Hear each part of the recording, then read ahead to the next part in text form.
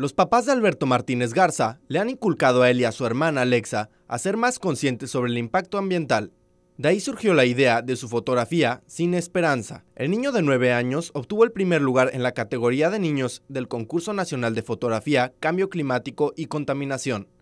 No usamos popotes, no usamos bolsas de plástico y este siempre si no compramos nuestras únicas bolsas y vamos al súper con ellas en lugar de usar plástico, así. No, reciclamos, no tiramos basura.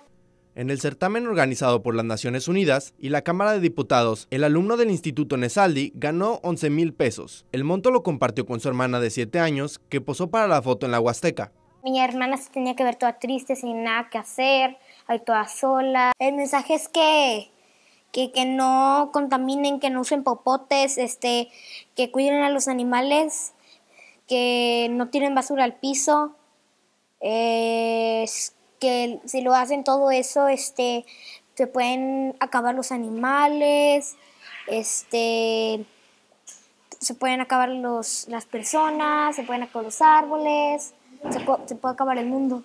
Otra de las pasiones de Alberto es tocar la batería. De grande quiere ser músico o pintor. A sus nueve años, este pequeño y su familia buscan inspirar a más personas a cuidar el planeta como ellos.